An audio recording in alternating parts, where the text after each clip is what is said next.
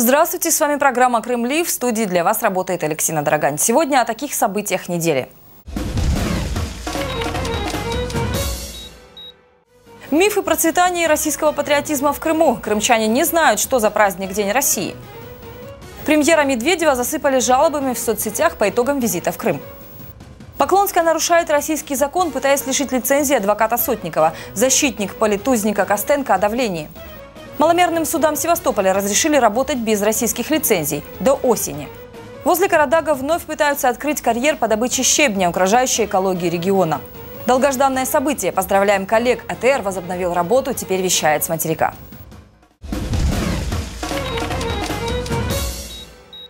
Во второй раз в Крыму праздновали День России, уже с гораздо меньшим размахом, чем в прошлом году. Поубавилось и количество людей на концертах. Интересно, что большинство россиян и опрошенные нами крымчане даже не знают, с чем именно связан этот праздник. Некоторые даже предполагают, что с Куликовской битвой. День России отметили в Крыму. Празднуют его уже второй год с момента аннексии полуострова Федерации. Эта дата связана с днем принятия декларации о государственном суверенитете России в июне 1990 года. На полуострове к празднику награждали ополченцев. 300 предателей народа Украины, помогавших России аннексировать Крым, получили медали от Министерства обороны Федерации. А вот самопровозглашенные руководители Крыма праздновать улетели в Москву. Поздравлять крымчан оставили замов. Заместитель главы оккупационного госсовета Константин Бахарев щедр на обещание процветания. Только когда они сбудутся, не говорит. На этой самой площади мы с вами сказали, да так, что весь мир услышал, Крым вернулся домой.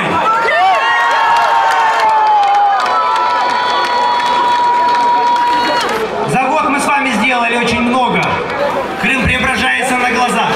Улетевший к Путину Аксенов оставил крымчанам для убедительности послание с описанием тех самых преображений. За прошедший год серьезные позитивные изменения произошли в социальной сфере. Новый импульс развития получили судостроительная и химическая промышленность. Возрождается село, модернизируется транспортная инфраструктура. Успешно начался курортный сезон. В Крыму уже побывало 650 тысяч туристов. Крымчане демонстрируют всему миру свое единство, межнациональное и межконфессиональное согласие. Да, у нас не все идет гладко, есть трудности, есть нерешенные пока проблемы, есть ошибки. Слова Аксенова красноречиво иллюстрируют пустые или полупустые крымские пляжи в разгар лета, вообще не работающие многочисленные российские праздники и выходные, больницы, очереди и талоны на прием к врачам на месяц вперед, умирающий Симферопольский вокзал и другие прелести аннексированного Крыма. Если крымский самозванный глава акцентировал внимание на мифических достижениях, то президент Путин в своих поздравлениях напирал на возросший патриотизм. Было положено начало кардинальным преобразованиям в стране. Они коснулись всех сторон жизни – политического и общественного устройства, экономического и социального укладов. Мы знаем, насколько сложным и драматичным был путь этих радикальных перемен. Какая воля, терпение, умение, умение воспринимать новое потребовались всем гражданам страны на этом крутом историческом повороте. Интересно характеризует так называемый патриотизм свежий соцопрос Всероссийского центра изучения общественного мнения. Большая часть жителей страны даже не знает, с чем связано празднование Дня РФ. Затруднились ответить на этот вопрос 77% россиян. Название праздника «День России» правильно смогли вспомнить 39% опрошенных. Еще 25 назвали его Днем независимости России. Общую тенденцию подтверждает и журналистский блиц-опрос крымчан, проведенный накануне празднования. Не знаю. Почему? Потому что такой день, день России именно такой праздник назначили, чтобы все жители Российской Федерации, все граждане Российской Федерации отмечали. Я, честно говоря, не знаю. Абсолютно не в курсе, не задавалась этим вопросом. Ой, потому что была Куликовская битва. Ну, честно, трудно так сразу собраться. Вот, и победа. По данным соцопроса в ЦИОМ, 30% российских респондентов не считают нужным проводить официальные торжества по случаю праздника. Но большинство гуля не хотело. А вот в Крыму желание явно поубавилось. На полуострове организовали концерты, но гораздо более скромные, чем год назад. Без звезд российской эстрады. И даже в Севастополе, считающемся эталоном российского патриотизма в Крыму, на площадь вышло не больше тысячи человек. Части местных жителей не хотелось идти на праздник из-за традиционных для РФ рамок с досмотрами. Как отметила одна жительница города в комментарии в соцсетях, психологически было неприятно чувствовать себя овцой, которая сама шла в стойло. Конец цитаты. А вот в видеоинтервью откровенное неодобрение слышать сложно. Мало кто не боится сказать то, что думает. Например, нашей группе о негативе решился сказать только переселенец из Горловки. В России, вы знаете, дома. Смотрели по телевизору. Да. Вот. А с прошлого года, с прошлого Дня России, вот за последний период, что изменилось в Крыму? Ну, Крым стал лучше, Симферополь, отношения, э, все хорошо. Вот, парки, дороги, все улучшилось. Э, нравится то, что ходят везде по городу, охраняют нас, вот это вот самое главное. Не, вообще сам с Горловки, я не знаю, что изменилось. Ну, вроде бы осталось все как и было, как по моему мнению. Ничего нового такого не случилось. Тем более воду везде подключали, позакрывали каналы. Это только хуже стало. Рыба везде повздыхала. Так что ничего нового такого не случилось грандиозного. А сколько вы в Крыму? В Крыму? Уже где-то года полтора. Ну, уезжал в Украину и опять приезжал сюда.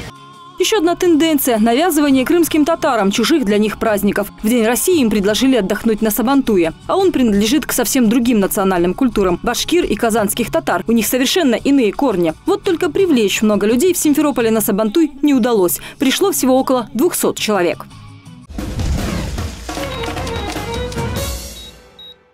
На этой неделе на полуострове побывал российский премьер Дмитрий Медведев. МИД Украины выразил свой протест по поводу этого визита. А крымчане и россияне завалили Медведева жалобами на реальное положение дел в Крыму. Поскольку вживую доступа к премьеру не было, люди попытались достучаться до него в соцсетях. Под его фотографиями из Крыма в Инстаграм уже по полтысячи комментариев. Жалобы на выросшие цены, отсутствие туристов, прекращение работы банкоматов, низкие зарплаты. О том, что еще пытались донести крымчане и россияне до Медведева в нашем сюжете. Российского премьера засыпали жалобами в соцсетях во время его визита в Крым. Дмитрий Медведев прилетал на полуостров поговорить о развитии малого бизнеса и отпраздновать 90-летие Артека. Пока он выкладывал в Инстаграм фотографии красивого виноградника, видов Ялты и Артека, крымчане и россияне пытались достучаться до него со своими проблемами. Глава правительства РФ гулял по Крыму, а в его аккаунт постили вопросы, которые реально волнуют людей. Ура! Красивый виноградник! Вот только, например, Массандровский завод вин при новом директоре загибается. И это катастрофа такому стратегическому производителю. Только кто его будет обрабатывать, этот виноградник? Ленивые россияне или украинцы, которых не пустят в Крым? Жалуются Медведеву и на дороговизну авиабилетов в Крым. Напомним, еще в прошлом году российское правительство обещало россиянам и крымчанам дешевые перелеты. Однако найти такие билеты практически невозможно, утверждают люди. Уважаемый Дмитрий Анатольевич, очень хотим с семьей полететь в Крым. Набираю в поисковике авиабилеты, дешевле 6-5 тысяч ничего нет. Издевательство. Столько было разговоров про дешевые билеты, а по факту болтовня болтовня. Подскажите, если знаете, где обещанные билеты по 4 500. Глава правительства России, находясь на полуострове, заявил, что серьезнейшим фактором, который должен снизить дотационность полуострова, должно быть развитие именно малого бизнеса, а также профессиональная и добросовестная работа всех органов власти Крыма и Севастополя. Пользователи соцсетей отреагировали и на это. Хотя бы не мешали, о какой поддержке речь. С нас выжимают последние, а крупные организации замечательно живут. Малый бизнес нищий, я так вот вижу на сегодняшний день. Спасибо за внимание. Достали вы с Крымом. На Дальнем Востоке что-нибудь сделайте. Упрекнули Медведева и в чрезмерной любви к фотографиям. Дмитрий Анатольевич, может, хватит уже фоткаться? Займитесь делом, когда в стране порядок будет. Много нареканий на странице Медведева в Инстаграм на неразвитую сеть банкоматов и неадекватные цены в Крыму. Сам же глава правительства, проведя несколько совещаний и встреч в Крыму, заявил, времена наступили тяжкие, но происходящие на полуострове процессы закономерны. Прямо скажем, сейчас не самые простые времена, и ровно поэтому я предложил встретиться здесь, в Крыму. Крым вернулся в состав России больше года назад.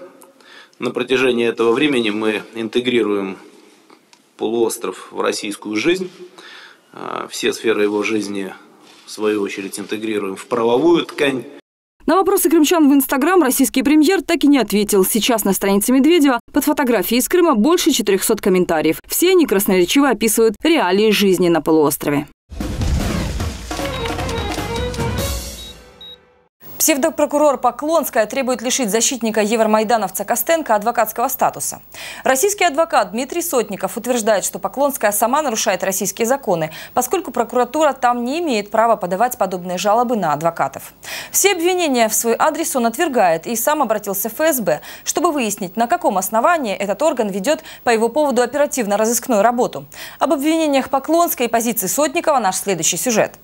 Давление на адвоката. Крымский прокурор Наталья Поклонская требует лишить адвокатского статуса Дмитрия Сотникова, представляющего в суде активиста Евромайдана крымчанина Александра Костенко. По мнению Поклонской, защитникам были допущены грубые нарушения требований федерального законодательства и Кодекса профессиональной этики адвоката. Она заявляет, что Сотников на своей странице в социальной сети Facebook публикует якобы некорректные высказывания в адрес правоохранительных органов, прокурора республики, судей и других лиц. Сам адвокат утверждает, у Поклонской нет прав лишать его статуса. Порядок решения статуса у нас, порядок обращения с жалобой на адвоката регулируется Кодексом профессиональной этики адвокатов. А в статье 20 данного кодекса закреплен исчерпывающий перечень поводов для возбуждения данного производства. В перечне причин, по которым возможно возбуждение производства по лишению адвокатского статуса, объясняет Сотников, есть жалоба доверителя на своего представителя, представление суда, представление президента адвокатской палаты и представление органа, являющегося надзорным в области адвокатуры. Таким органом в России является Министерство юстиции. По законодательству России прокурор лишен права подавать жалобы и представления на адвокатов, поясняет для Натальи Поклонской Дмитрий Сотников. Также Крымская прокуратура обвиняет Сотникова в том, что он пронес на территорию Симферопольского СИЗО мобильный телефон, телефон, на который сфотографировал травмированного Александра Костенко. На территории СИЗО вообще провести какой-либо какую-либо вещь не представляется возможным. Там стоят э, металлоискатели, металлодетекторы. Фотографию Костенко я взял из интернета. По словам Сотникова, в Симферопольском СИЗО его подзащитного посещали посторонние лица, которые никаких разрешений на визиты к нему не получали. Об этом адвокату рассказал сам Костенко. Возможно, предполагает защитник, именно эти неизвестные выложили снимки в интернет. Кроме того, Дмитрий Сотников сообщил, что 17 июня он направил жалобу директору ФСБ России. В ней он попросил провести служебную проверку в отношении крымских сотрудников ФСБ, которые, по утверждению политузника Костенко, избивали его и сломали Александру руку в феврале этого года. В этой жалобе адвокат сообщил и о нарушении крымскими ФСБшниками его прав и свобод. Ведь сотрудники управления крымского ФСБ провели оперативно-розыскные мероприятия в отношении адвоката Евромайдановца, исследовав страницу Сотникова в Фейсбуке. Фактически э, крымское ФСБ проводит в отношении меня оперативно-розыскные мероприятия лишь на том основании, что я осуществляю свою адвокатскую деятельность. Напомним, активист Евромайдана Александр Костенко приговорен российским судом к четырем годам и двум месяцам лишения свободы с отбыванием в колонии общего режима. Над Костенко устроили политическое судилище, но обвинить смогли только в нанесении легких телесных повреждений сотруднику Беркута во время акции протеста прошлой зимой в Киеве и якобы хранении ствола нарезного оружия. И сегодня гость нашей студии Ивана Билыч, юрист, инициатор, соавтор отчета «Права человека на оккупированной территории» на примере Крыма и его важной части пособия по защите прав человека для кримчан. Е, добрий день, Іванна. Наскільки я, наскільки я розумію, е, в цьому посібнику є е, дуже корисні речі для кримчан. Це і законодавство, посилання на нього, і контакти на міжнародні, українські та російські правозахисні установи. Що ще конкретно є там для кримчан? Так, дякую. Звіт складається дійсно аналітичний звітопис складається з двох частин. А е, першої і е, довідника, який був перекладений на українську, кримсько-татарську та російські мови, і в якому ми намагаємося е, допомогти кримчанам в цьому правовому хаосі і вакуумі, який був створений через те через Росій... окупацію Російською Федерацією території України, зокрема Крим Кримського півострову. А що вони що кримчани там для себе можуть знайти? Вперше за все, е, в такій ситуації е, інформацію про те, що саме які права в них є, і і розуміння того, що в них є права. І е, і також хто які саме міжнародні документи, українські документи, а також документи окупаційної влади передбачають ці права. Можливо, вони не відразу будуть реалізовувати ці права, але саме відчуття того, що вони мають ці права, вони вже є першим кроком для реалізації своїх прав. Вони, звичайно, ми пропонуємо є абсолютно різні ситуації і різні права, які також вимагають різних різних підходів. І, ем, і кримчанам потрібно, звичайно, на свій е, суд е, е, робити рішення, що саме як їм реалізовувати ці права, не піддавати, звичайно, своє життя небезпеці, але наполягати, звичайно, на своїх правах, звертатися в міжнародні організації, писати. А, можливо, е, навіть в багатьо, багато організацій розсилати свої листи, свої е, запити. Також, звичайно, звертатися до української влади, оскільки вони залишаються українськими громадянами, і також звертатися до окупаційної влади, оскільки цього передбачає е, міжнародна процедура. І, звичайно, про, пробувати реалізувати свої права: право на здоров'я, право на свободу слова, право на віросповідування, різні різні права. Ну, наскільки я розумію, е, багато присвячено е, місця саме е, судовому захисту, так? так? Так, ми робимо загальний. Ми робимо взагалі загальну е, загальний аналіз ситуації. Приходимо до висновку, що Російська Федерація порушила е, всі міжнародні норми е, і міжнародний устрій, який був створений після Другої світової війни. І е, абсолютно ця ситуація загрожує не тільки на українській національній безпеці, європейській, але також це глобаль, питання глобальної безпеки. І ми дивимося на цю ситуацію з різних питань. Ми дивимося на ці питання прав людини, як перше, як звичайно, як основну цінність, але також як на питання безпеки і е, як це можна виправляти цю ситуацію. І ми пропонуємо, звичайно, ми розуміємо, що е, за останні два роки відбулися масивні е, порушення прав людей, які відбуваються кожного дня, зокрема в Криму. Але починаючи від Майдану, е, те, що відбу- відбувається в Криму, і очевидно, те, що відбувається на східній Україні, і ми пропонуємо вирішення цих е, такий інший підхід. Ми пропонуємо замість. А, Дивитися, де можна е, піти в Гагу, чи ж- і яка має дуже міжнародний кримінальний суд має дуже обмежену юрисдикцію, і під яку напевно підпадали би е, тільки обмежені найвищі посадові особи, такі як Путін Володим, е, е, Володимир, а, напевно, керівники ЛНР, ДНР терористичних організацій. Але було багато інших також правопорушників, для яких щоб притягнути їх до відповідальності, потрібен суд, спеціальний суд, спеціальної юрисдикції, Вот, наприклад, Ді- да, Лівану. который вы предлагаете создать. А, Кто должен проявить инициативу э, по его созданию? Украина, да, я насколько я понимаю? А, Очевидно, тому що це, це є перш за все ці проблеми, це є питання, питання проблеми українського суспільства в першу чергу.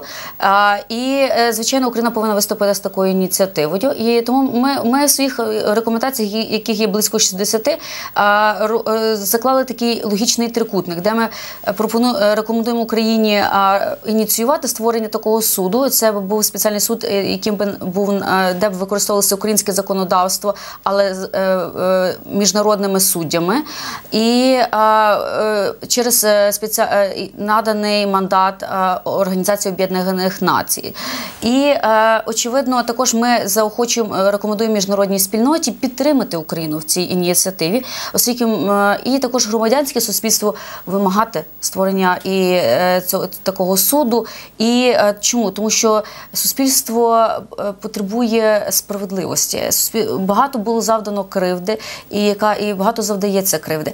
І це, е, це потрібно вирівняти це становище. Е, Винні повинні бути покарані, притягнені до відповідальності. А, Сім'ї повинні отримати відповіді. Люди потерпілі повинні отримати відповіді. Суспільство повинно отримати відповіді. Більше того, міжнародна спільнота повинна отримати відповіді. Європейська спільнота повинна отримати відповіді. Дякую вам, пану Івану. Е, Нагадаю, у нас в ефірі була е, з нами Івана Білич, юрист, ініціатор і автор е, звіту права людини на окупованій території на прикладі Криму. Е, Этот отчет был презентован на этой неделе в Киеве. Хорошая новость для маломерного флота Севастополя. Ему разрешили работать пока без лицензий. Уже полмесяца прогулочные ялы в России вне закона. В Федерации они должны работать на одинаковых условиях с крупными пассажирскими катерами и паромами. А это нереально по деньгам и по требованиям к эксплуатации. Российскую Федерацию просят разработать временное упрощенное положение по регулированию маломерного судоходства. Севастопольским маломерным судам все-таки разрешили пассажирские перевозки без лицензий, но до конца лета. Напомним, с 1 июня работать им запретили, хотя предприниматели уже оплатили патенты за перевозки в бюджет Севастополя, рассчитались за проверки и перерегистрации. Дело в том, что в законах РФ нет такого статуса, как маломерное судно. Их владельцы должны оформлять документы по такой же схеме, что и пароходы, паромы, лайнеры. С такими же затратами. Сейчас в Севастополе такая лицензия есть всего у одной компании – Севастопольские транспортные системы. Она эксплуатирует паромы. Мореходы винят в создавшейся ситуации местную власть. Вся сложность в том, что власти наши доложили об окончании переходного периода. Фактически он не был даже завершен наполовину. Лицензии мы можем получить, но нас приравняли э, к лайнерам, которые вмещают 10-15 тысяч. Вчера Медведев четко сказал, что можно работать, все документы будут приведены в порядок. Целый ряд есть специфических проблем, включая, например, лицензирование морских и внутренних водных перевозок.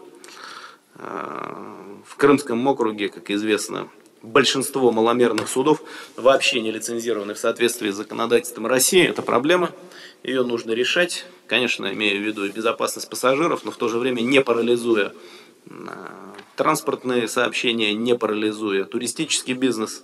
У предпринимателя Виктора Бычкова 8 катеров. В этом же бизнесе работают и сыновья. Он верит, что вскоре процесс получения лицензии будет снова таким же, как в Украине. Его коллега Виталий Михайлов в завтрашнем дне не так уверен. Мы хотим работать, мы хотим работать официально. Вот.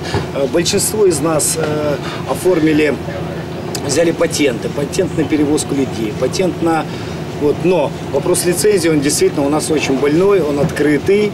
Опять же, по слухам, по слухам до 1 сентября. Официального подтверждения нету. Для семьи Виталия Михайлова катер – это основной хлеб. У меня двое детей. Вот у меня жена получает 9200 рублей в месяц, и на эти деньги фактически прожить невозможно. У нас цены вот московские вот на продукты, э, коммунальные услуги, то-то-то. Вот я работаю исключительно, я живу вот своим катером. Ну вот. Стоянка очень дорогая. И если, если я не смогу работать после 1 сентября, у меня очень-очень нерадужные будут перспективы, как минимум на зиму. Отдыхающие в восторге от морских прогулок. Полчаса – полторы тысячи рублей. Скидок для детей нет, но эмоции самые положительные. Впечатлительно. Слов нет. Эмоции перекрестные. Добрый день. Скажите, должен быть такой вид отдыха для туристов? Да. Как впечатление? Отлично. Как люди есть вообще? Как интересно? Конечно, есть. Есть, ко всем, у всех есть люди. Моряки говорят, есть еще одна беда. Права, которые не дают права на морской извоз пассажиров. Только членов семей. При том, чтобы получить права, люди сдавали экзамены и платили. За извоз их пока не штрафуют. Но, как считает севастополец Владимир Гордичук, местные власти только на это и способны. Я вам хочу сказать, у нас все хорошо, но кроме градоначальника. Пусть меня ругают, пусть меня это... А с катерами как ситуация? А никак. Никак. Вообще никак. Никто не хочет заниматься. Жаль, что нет у меня с собой прав. Я показал бы вам права на управление маломерным судном. Таких прав э, вообще эксклюзив вот только в Севастополе. Больше нигде нету. Вот. Честно, без права коммерческой деятельности. В Севастополе около 350 владельцев маломерных судов. Предприниматели говорят, что вопрос лицензирования катеров так или иначе касается каждого десятого жителя Севастополя. Город решает проблему по-своему. Э, нас губернатор хочет просто закрыть город, сделать его военным, но чтобы сюда никто, не дай бог, ездил бы, чтобы его голова, у него голова не болела по этому поводу. Российские чиновники, напротив, рассчитывают на инициативу и расторопность крымских. Крыму есть соответствующие органы, которые могут зарегистрировать маломерные суда. Кроме морского регистра, эти полномочия даны Севастополю и уполномоченному органу Совету министров Крыма. Российский премьер поручил соответствующим министерствам разработать поправки в федеральный закон для изменения требований к лицензированию маломерных судов. Иначе бизнес либо погибнет на корню, либо уйдет в тень. Те, кто должен защищать природу, наоборот, пытаются ее уничтожить. Так называемое Министерство экологии и ресурсов Крыма лоббирует интересы добывающей компании. ООО «Стройпрогресс» делает вторую попытку начать разработку карьера возле Карадакского заповедника. А это грозит экологической катастрофой всему региону. Два года назад усилиями общественности и экологов эту варварскую попытку удалось пресечь. Вот теперь у фирмы нашелся новый защитник. Начать добычу щебня возле Карадага вновь пытаются в Крыму. Вторую попытку разработать карьер поддерживает так называемое Министерство экологии и ресурсов Крыма. Напомним, по заключению специалистов, добыча андезитового щебня всего в 400 метрах от Карадагского природного заповедника грозит региону экологической катастрофой. Два года назад попытка разработки карьера вызвала бурю протестов общественников Коктебеля и экологов Крыма, и Совмин автономии отменил разрешительные документы ООО «Стройпрогресс» на эти работы. Это техника, это пыль, это шум страшный, это взрывы. Погибнут сразу все наши родники, колодцы у кого есть. Это будет последней каплей. Если сделают карьер бессмысленный, кто-то там срубит какие-то копейки, а Коктебель, как э, историческое место, э, умрет окончательно. Сейчас же министр экологии и ресурсов Геннадий Нараев цинично заявляет, что дешевое сырье важнее экологической безопасности. Против разработки карьера Общественная палата Крыма, но Нараев назвал их позицию пиаром, сообщает сайт «Новости Крыма». И вообще, мол, карьер не входит в границы заповедника, и оценка воздействия на окружающую среду будет дана потом, в рамках экологической экспертизы. С одной стороны, мы понимаем, что Крым должен быть экологически чистым, безопасным. В то же время стоит задача сделать Крым самодостаточным. А без развития минерально-сырьевой базы мы понимаем, что Крым самодостаточным не будет. Сегодня общественный резонанс можно вызвать тем, что строительные материалы, которые могут быть добыты на территории Крыма, и стоить в разы дешевле, чем привозные, а усилия общественности направлены на то, чтобы запретить разработку всех карьеров. Так можно дойти до того, что Крым будет чистым, воздух будет чистым, но развивать Крым мы не сможем. С какой стороны будет больше резонанса? Но экономический эффект не сравним с уроном природе. Это еще два года назад доказали лучшие специалисты Крыма и Украины. Взрывные работы очень быстро нанесут фатальный вред здоровью людей из-за выбросов, карадакским породам, развитию курорта, растительному и животному миру. Сотрудники заповедника были в шоке. На Карадаге впервые за сто лет начали видеть гнезда краснокнижные белоголовые сипы, которых на полуострове всего несколько десятков. Ученые негодовали, как можно ставить под угрозу весь регион из-за сиюминутных выгод. Не внемля и не учитывая ну, тот вал, буквально шквал протестов и, и недоумений со стороны интеллигенции, ученых и так далее. Как можно такое допустить? Ну, буквально в зоне. Ну, там что такое 300 метров до, до границы заповедника? Это, я считаю, национальная будет трагедия, если это случится. Мы просто уничтожим этот уникум, и нам никто спасибо не скажет. Завершившаяся была борьба за экологическую безопасность региона начинается вновь. Как сообщает сайт «Новости Крыма», Общественная палата полуострова обратилась в ФСБ с просьбой проверить разрешительные документы ООО «Стройпрогресс», которые снова активно собирают бумаги для разработки карьера. В фирме ссылаются на распоряжение правительства Крыма, отмененное еще два года назад. Общественники заявляют, что ФСБ проверкой уже занялась. АТР возвращается. Долгожданное для многих крымчан событие. Трансляция канала возобновлена. Теперь редакция работает в Киеве. А вот оккупационные власти уже пытаются угрожать каналу российским законодательством. Символично, что второе рождение АТР произошло накануне священного для мусульман месяца Рамазан. Поздравляем всех крымских татар с двойным праздником. Единственный в мире крымско-татарский телеканал АТР возобновил вещание на материковой Украине. Теперь его редакция располагается в Киеве. Вещание на трех языках – крымско-татарском, русском и украинском – осуществляется через спутники и интернет со вчерашнего дня. Вчора ввечері АТР відродив свої, відновив свої програми. І вчора, якщо б ви заглянули в сегмент інтернет-сектори, де спілкуються між собою не тільки кримські татари, але ті, хто живуть в Криму, ви побачили б там такий вибух емоцій завдяки тому, що АТР нарешті знову почав показывать свои программы. Возобновление вещания телеканала АТР стало очень серьезным тестом для Украины. Очень сложное время мы прошли этот тест на свободу слова. Мы можем говорить о том, что независимые крымские СМИ наконец-то на территории Крыма возвращают свои позиции. И спрос на информацию со стороны крымчан, со стороны крымцев, наконец, будет удовлетворен в значительно большем объеме, чем это было возможно до настоящего времени. Напомним, вещание ТР прекратилось 1 апреля, поскольку телеканал таки не смог получить лицензию на вещание по российским законам. Через два месяца после полной остановки вещания часть журналистов, которых оккупационные власти Крыма лишили возможности работать на полуострове, переехали в столицу и готовят программы для своей аудитории на родном языке здесь. Сколько их собственники канала не разглашают в целях безопасности. Те же, кто остается на полуострове, официально находятся в отпуске и к киевской редакции отношений не имеют, утверждает владелец АТР. Мы отдаем себе отчет о той опасности, которая их может ожидать. Поэтому и там, и здесь генеральный директор телеканала я. Поэтому никаких таких вот мы не ждем таких проблем. Э, мало того, сейчас месяц Рамадан. Э, мы надеемся, что в этот месяц Рамадан вообще все, все плохие как бы люди, они как бы окованы сетью определенной. Поэтому будем надеяться, что все-таки сейчас сейчас, в этот месяц Рамадан, мы спокойно все это пройдем. А дальше жизнь покажет. По словам собственников АТР, телеканал не изменит своего формата и редакционной политики. Коллектив постарается сохранить максимальное количество программ, которые производились на телекомпании до прекращения вещания и таким образом обеспечить культурные, языковые и другие права своих соотечественников на материковой части Украины и в оккупированном Крыму. При этом собственник телеканала обещает сохранить его независимость от украинской власти и крымских оккупантов, в том числе несмотря на бизнес, который остается у Ленура Ислямова в России и Крыму. Э, я не хочу здесь брызгать героизмом каким-то и там что-то еще, потому что здесь очень все мастаки отсюда как бы с, с материковой части все э, быть героями. Но у каждого есть своя позиция. Вот по, по, по этой позиции, если я по национальности крымский татарин, по, по позиции, которая сейчас происходит с нашим народом, я украинец. Поэтому этим все сказано. Главной целью телеканал ставит развитие крымско-татарских языка, культуры и других сфер в условиях фактической депортации соотечественников из Крыма. На данный момент смотреть телеканал АТР можно по всей Украине и в Европе. В Крыму же его эфир доступен лишь тем, у кого имеются спутниковые антенны или интернет. Еще раз от всего сердца хочу поздравить коллег с АТР и выразить огромную благодарность за их гражданскую позицию. Ну а у меня на сегодня все. Вы смотрели программу «Крымлив», программу о том, как живут украинцы на оккупированном Россией украинском полуострове. В студии для вас работала Алексина Драгань. Встретимся через неделю.